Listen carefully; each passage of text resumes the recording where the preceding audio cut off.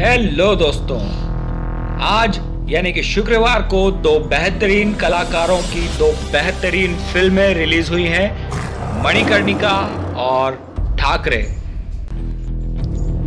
इस बार नवाजुद्दीन सिद्दीकी बाला साहेब ठाकरे के किरदार में नज़र आ रहे हैं। नवाजुद्दीन सिद्दीकी बाला साहेब ठाकरे के किरदार में पूरी तरह से रम चुके हैं। इससे पहले मांझी द माउंटेन मैन के किरदार को नवाजुद्दीन सिद्दीकी ने जिया था।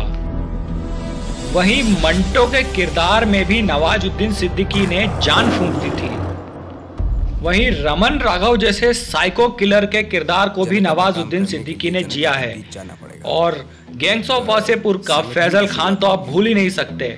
और अब नवाजुद्दीन सिद्दीकी बनकर आ रहे हैं बाला साहेब ठाकरे। दोस्तों, ये एक बायोपिक फ़िल्म है, जिसे पूरी ईमानदारी के साथ फिल्माया गया है। नवाजुद्दीन सिद्दीकी ने अपने अभिनय से बाला साहेब ठाकरे को जीवंत कर दिया बनकर लाखों लोगों के खून में बहेगा और उस खून के हर कतरे में ज़िंदा रहेगा ये बाल केशव ठाकरे।